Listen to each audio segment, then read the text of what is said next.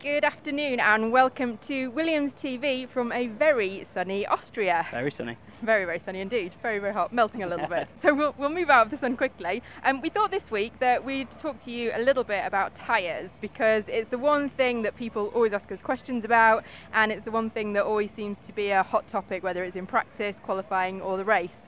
So uh, we're going to give you a little insight into that today. Let's go. So we're going to go into tyre world now. And we've got the lovely Rob Anderson here, Hello. who's tyre technician here at ROKiT Williams Racing. So, Rob, this is your little lair. Yeah. Tell us about it and tell us a little about your role. Uh, welcome to Tyre World. I'm Rob. I'm the tyre technician. Um, we have 13 sets of dries, four sets of inters, three sets of wets, and that's per car. So 160 tyres in total for the weekend. Um, me and Smithers, we prep them, get them in the blankets, maintain them, and then obviously sort them out for running. Very sweaty job. yeah, so it's obviously Thursday here in Austria and it's a very, very warm day. Very warm. Yeah. So, what's today like where we've got no cars running? What are you actually up to today and what are you doing to Uh, get ready for the weekend? So today, on a Thursday, normally is uh, wets and inters.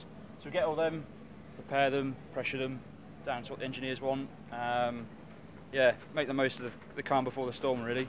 And in terms of all those, the- you know, the sets of tyres you've got, obviously the, the engineers pick which tyre sets they want for each session. The prep that goes into it, obviously you're looking at the, the pressures, the temperatures. This is all stuff that comes from Pirelli, yeah? Yes, that's correct. So yeah, like the heating cycle is like probably the most crucial point.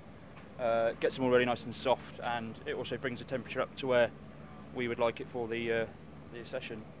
So that's a pretty big job then with all the sets of tyres and a lot of information to take from the engineers. What Yeah. kind of temperatures are you getting the front and rears to for them to be ready for the sessions? So the fronts are at 100 degrees and the rears are at 80.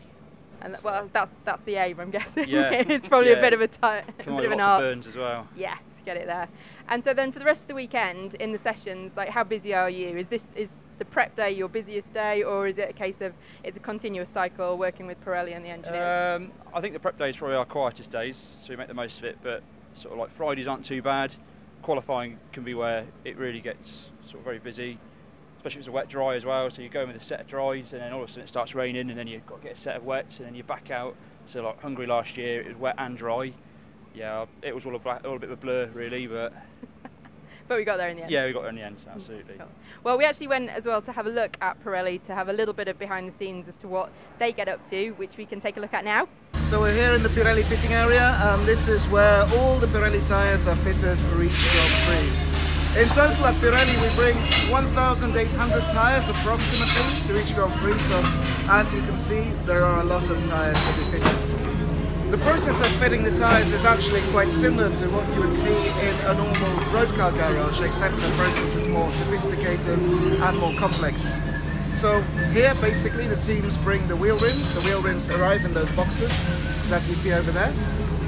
After the wheel rims are taken off, the tires are actually put on the wheel rims by this team of fitters here. Normally there are 18 fitters, around 18 fitters at each Grand Prix.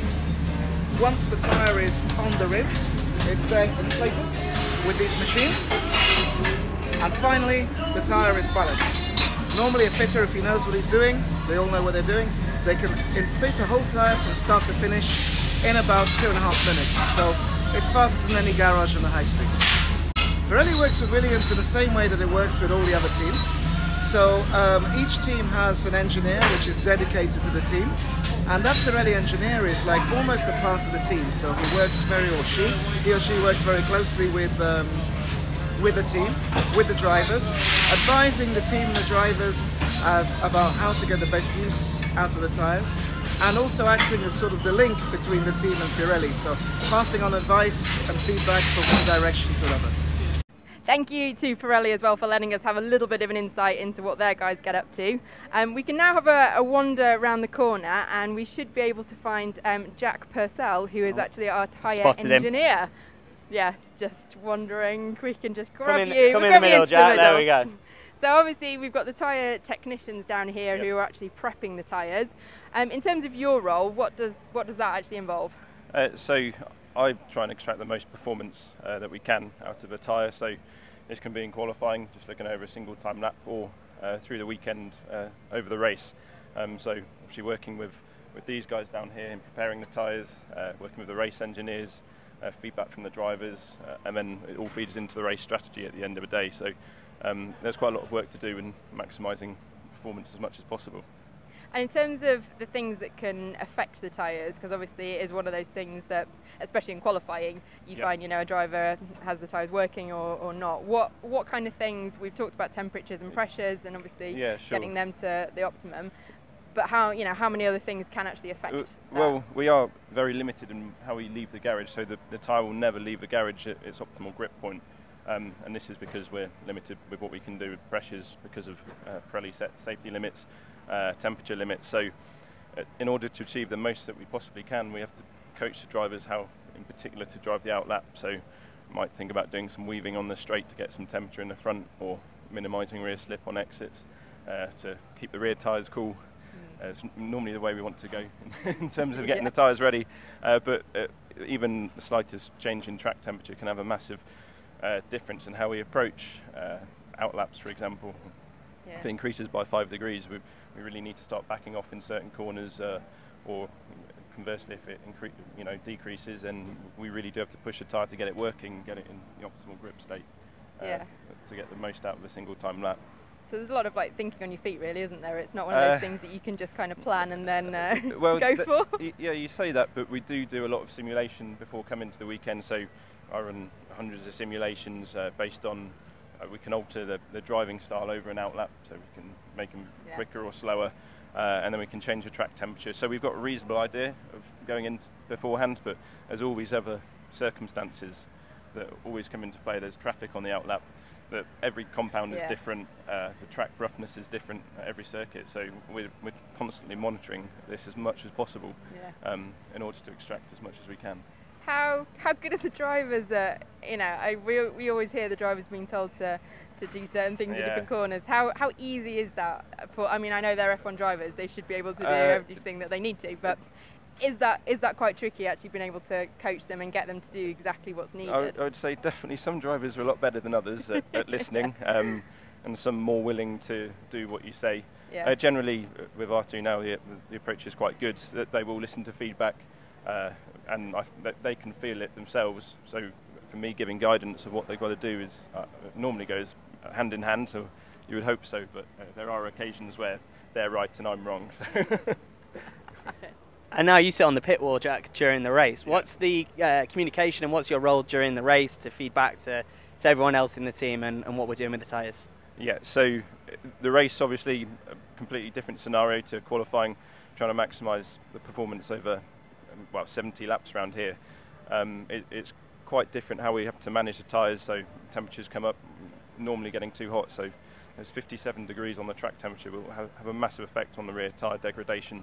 So uh, giving feedback to the race performance engineers, which will then feed to the to the uh, drivers themselves how to manage the tyre, um, saving in particular corners might introduce some techniques that can really control the, the tyres, but in other situations we want to do the opposite. We just want to keep pushing, and so I also feed into the strategy. So I give an impression of how long the tyre will last, um, and then we can make some strat- strategic decisions based around that. Uh, whether Yeah, we want to pit stop and if we can get the tyre to the end or not. Yeah, because I know that you often hear on the radio during the races asking the drivers for feedback on how, how much life they think they can feel in the tyres, but I guess you're looking at the data, trying Yeah. to combine with that to work out actually what's a feasible So strategy. yeah, so the, the data we look at, we we do a lot of work on in FP1, FP2 to try and get as much of an idea of how the tyres going to interact as possible. Um, but at the end of the day, the feedback from the driver is key. They, they really are out there feeling it. So Yeah. sometimes you you don't listen to the data as much as you should do. But no, the drivers sure make sure you listen to them. I think a lot of the time. oh yeah, definitely. Um, any other interesting facts or stats you can throw at us, or uh, well, are you uh, statted out now?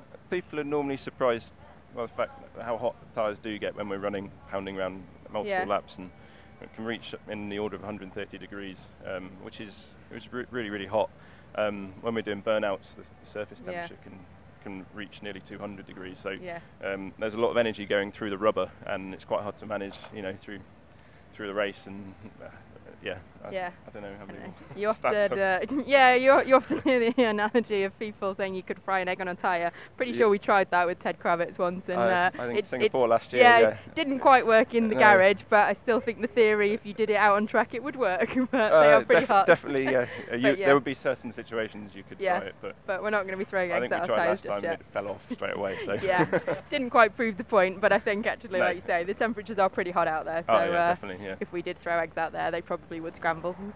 Yeah. Maybe one for uh, another day.